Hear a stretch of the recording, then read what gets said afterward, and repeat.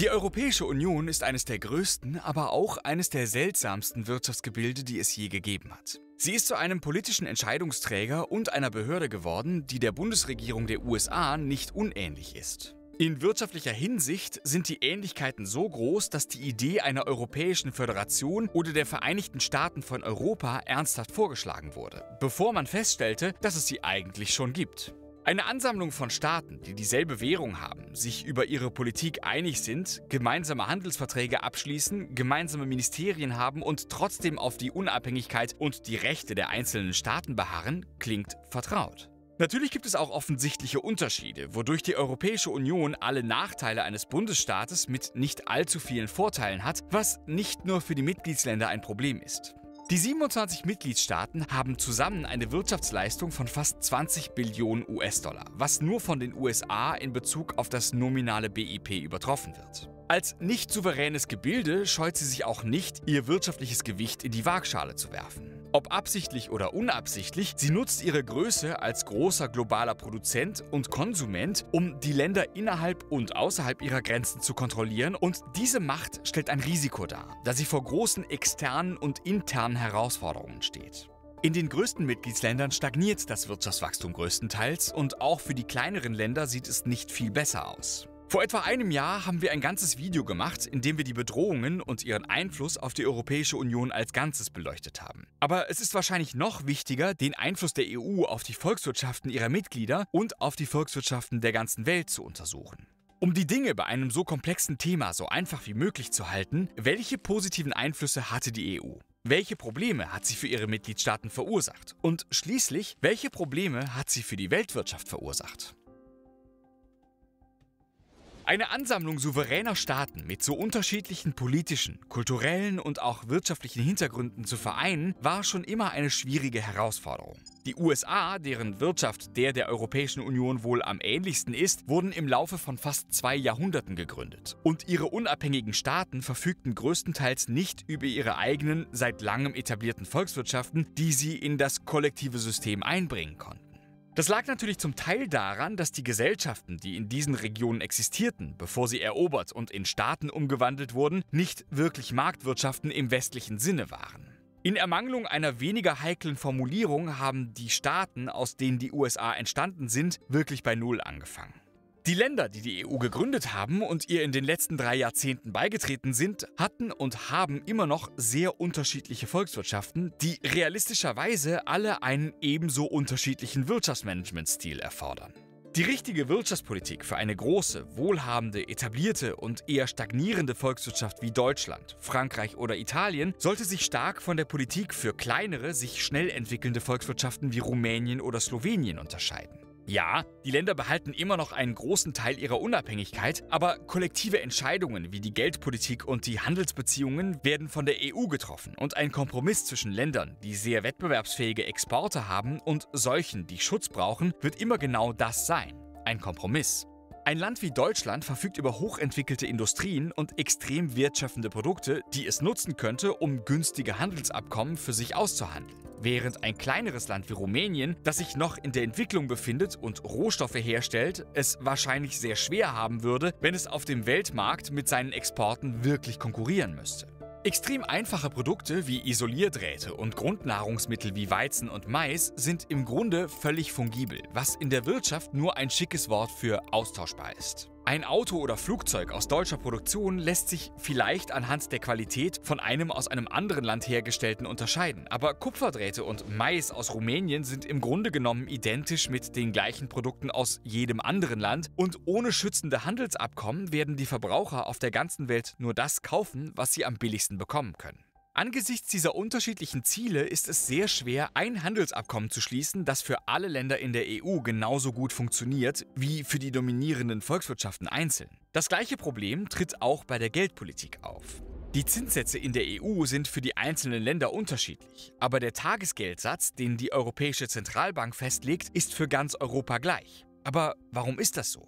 Nun, jede einzelne Regierung hat ihr eigenes Risikoprofil. Bei einem Land wie Deutschland ist es weitaus unwahrscheinlicher, dass es seine Kredite nicht zurückzahlen kann, als bei einem Land wie Griechenland. Daher muss Griechenland den Anlegern höhere Rendite für seine Anleihen bieten, wenn es Geld aufnehmen will, um sie für das Risiko zu entschädigen, dass das Land seine Schulden möglicherweise nicht begleichen kann. Eine Zentralbank muss dies berücksichtigen und gleichzeitig die Inflation steuern, die in der EU aufgrund unterschiedlicher Marktbedingungen, unterschiedlicher Steuersysteme und sogar unterschiedlicher Kulturen von Land zu Land unterschiedlich ist. Das alles bedeutet, dass jede Politik ein Kompromiss zwischen den Bedürfnissen dieser recht unterschiedlichen Gruppe von Ländern sein wird. Das war schon bei der griechischen Finanzkrise ein Problem, die durch den hohen Wert des Euros noch verstärkt wurde. Normalerweise sinkt der Wert der Landeswährung, wenn ein Land in eine solche finanzielle Notlage gerät, was bedeutet, dass die Exporte des Landes billiger werden, was dem Land hilft, Einnahmen zur Bedienung seiner Schulden zu erzielen. Wenn aber eine ganze Gruppe von Ländern die gleiche Währung verwendet, passiert das nicht oder zumindest nicht so stark.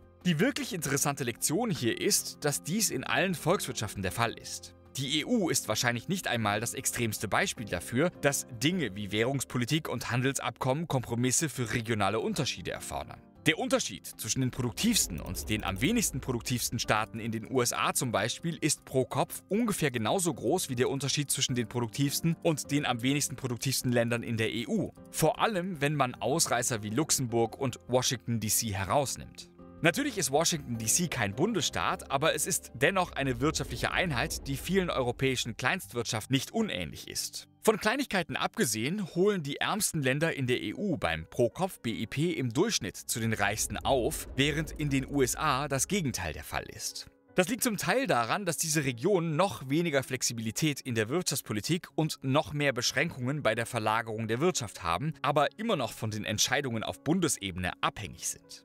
Selbst in Ländern, die keine Einzelstaaten sind, kann eine Politik, die für die fortschrittlichen Industrien in den Stadtzentren gut ist, für die Hersteller in den Regionen oder die Landwirte in den ländlichen Gebieten nicht gut sein.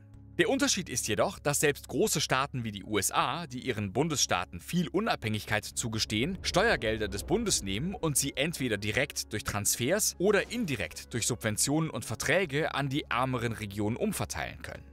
Einer der wichtigsten Gründe dafür, dass regionale Subventionen für Landwirte so üblich sind, ist nicht unbedingt, dass diese Zahlungen wirtschaftlich effizient sind, sondern dass sie verhindern, dass die regionale Ungleichheit zwischen Städten und ländlichen Gebieten zu sehr aus dem Ruder läuft. Ähnlich wie die regionale Wirtschaftsleistung unterscheidet sich auch die Inflation in den verschiedenen Gebieten aller Volkswirtschaften.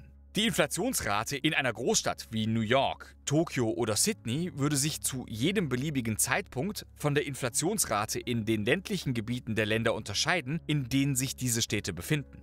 Der einzige Grund, warum dies speziell für die EU ein Problem zu sein scheint, ist, dass eine Währung normalerweise für ein Land spezifisch ist und dieses Land seine Inflationsrate einmal für die gesamte Wirtschaft misst. Da die EU aber den Euro hat, der von Dutzenden verschiedener Länder mit regionalen Unterschieden verwendet wird, melden sie alle unterschiedliche Inflationszahlen, was die Realität eher widerspiegelt, während andere Volkswirtschaften naiverweise davon ausgehen, dass die Preise überall im Land mit der gleichen Rate steigen. Das klingt zwar positiv für die EU, aber das Sammeln von genauen Wirtschaftszahlen nützt nicht viel, wenn sie nicht in der Lage ist, präzise Maßnahmen zu ergreifen, um sie zu kontrollieren. Verglichen mit der Bundesregierung der USA hat die EU einen sehr bescheidenen Haushalt, der meist nur dazu dient, ihre Verwaltungsfunktionen aufrechtzuerhalten. Selbst wenn sie also die Befugnis hätte, ihre eigenen Ausgaben zum Ausgleichen von Dingen wie kompromittierten Handelsabkommen und Geldpolitik zu verwenden, könnte sie das einfach nicht.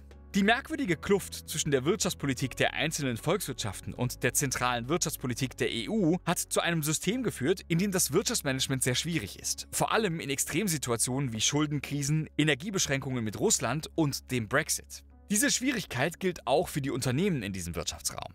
Theoretisch hätte die EU mit ihrem fast vollständig freien Waren-, Dienstleistungs- und Personalverkehr innerhalb und zwischen den Mitgliedsländern es den Unternehmen leichter machen sollen, ohne die Beschränkungen durch dicht gedrängte nationale Grenzen zu arbeiten und zu wachsen. Leider ist diese Annahme in Frage gestellt worden. Die EU hat eine zusätzliche Schicht von Vorschriften eingeführt, die die Unternehmen zusätzlich zu ihren eigenen nationalen Vorschriften einhalten müssen. Dies ist ein Bereich, in dem die EU oft sehr schwerfällig agiert. Vor allem die Vorschriften im Bereich der Technologie haben dazu geführt, dass selbst internationale Unternehmen große Veränderungen vornehmen mussten, um weiterhin auf einem der lukrativsten Verbrauchermärkte der Welt tätig sein zu können. Die Vorschriften selbst, zumindest die, die für Schlagzeilen sorgen, sind meist sehr verbraucher- und arbeitnehmerfreundlich. So wurde zum Beispiel gefordert, dass alle Smartphones den gleichen Ladeanschluss haben müssen, um die Wettbewerbsschranken in diesem Bereich zu senken.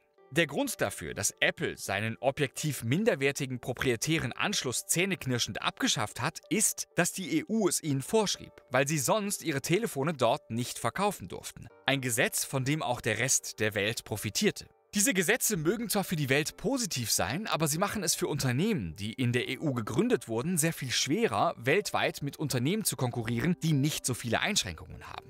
Die Europäische Union ist bei der technischen Innovation deutlich hinter den USA und den asiatischen Schwellenländern zurückgeblieben, was bedeutet, dass sie den Anschluss an einen der lukrativsten Wirtschaftsmotoren der Welt verpasst haben. US-amerikanische und sogar chinesische Technologieunternehmen konnten ihren Einfluss ausweiten und Einnahmen mit einem Produkt erzielen, dessen Grenzkosten bei fast Null liegen. Wenn ein deutsches Produktionsunternehmen seinen Umsatz steigern will, muss es mehr Produkte verkaufen. Was bedeutet, dass es mehr Mitarbeiter einstellen, mehr Materialien kaufen und möglicherweise sogar mehr Fabriken bauen muss. Wenn ein Technologieunternehmen einen neuen Kunden gewinnt, können die zusätzlich benötigten Ressourcen schon aus der Eingabe von Daten in einen elektronischen Datensatz bestehen, was diese Unternehmen viel skalierbarer macht.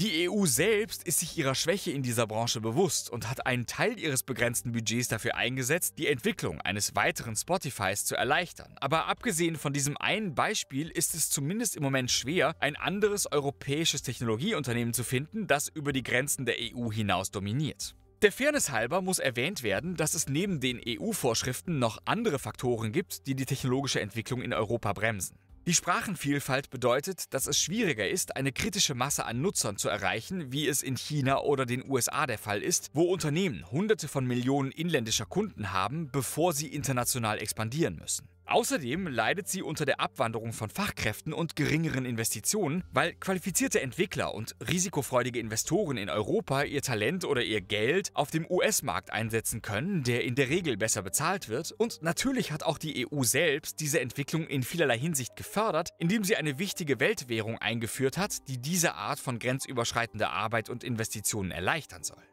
Angesichts all dieser Probleme kann man leicht auf den Gedanken kommen, dass die EU vielleicht eine schlechte Idee war. Aber es ist auch wichtig zu prüfen, ob sie nicht einfach zur falschen Zeit am falschen Ort ist.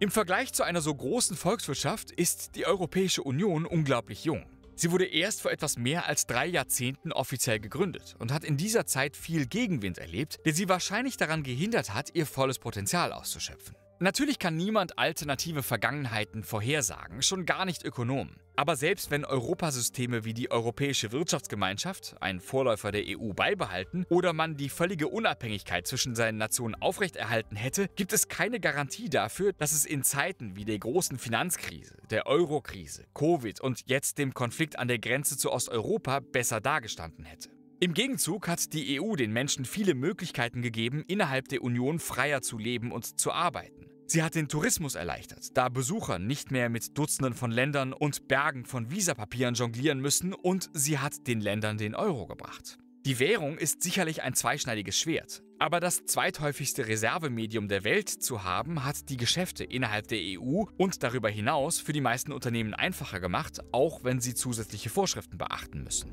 Die Wirtschaft der EU stagniert seit über einem Jahrzehnt, aber das gilt auch für die meisten anderen großen fortgeschrittenen Volkswirtschaften wie Kanada, Australien, Japan und sogar für Länder wie die Vereinigten Arabischen Emirate.